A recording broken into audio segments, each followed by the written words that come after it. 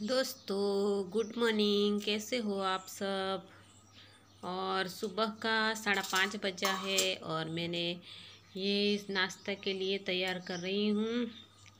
और आज का फ्राई आज शुक्रवार का दिन है और कल तो हाफ़ डे होगा स्कूल बच्चे को। और अभी सुबह सुबह में वो मैं नाश्ता बना रही, सोच रही थी क्या बनाऊँ? और वो गेहूँ का आटा और इसमें हल्दी, वो मेथी की भाजी, मर्चों मसालों सब डाल के पूरी बना दी मैंने। वो बनाने वाली हूँ, बनाई नहीं, अभी बनाने वाली हूँ और उसके लिए मैं भाजी साफ़ कर रही हूँ। और बाद में धो के आटा ये करके उसमें डाल दूँगी। दोस्तों, आज थोड़ी ठंड लग रही है, थोड़ी ज़्यादा तो मैंने ऐसे दुपट्टा लगा लिया है और इतनी तो ज़्यादा नहीं लगती, लेकिन लगती है ऐसे, खुले नहीं बैठ सकते। गर्मी भी होती है, जो स्वेटर पहन लिया तो गर्मी हो जाती है। ठीक है तो ये देखो, मैंने भाजी करती है साफ़ और काट देती हूँ।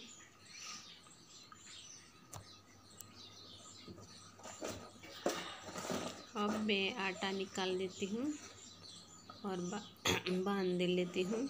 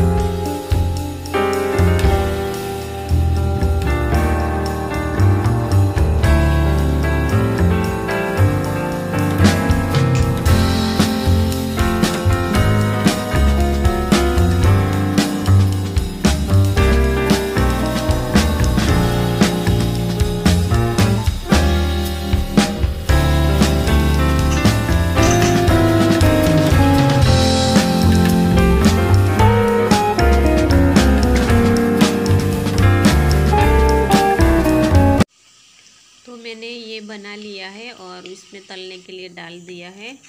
तो बन के तैयार हो गया है। ये रहा देखो पूरी। थोड़ी क्रंची आई है और टेस्टी लगती है। एक बार बनाई थी, इसलिए वापस बनाई है। और दोस्तों, आज के लिए इतना ही। Bye bye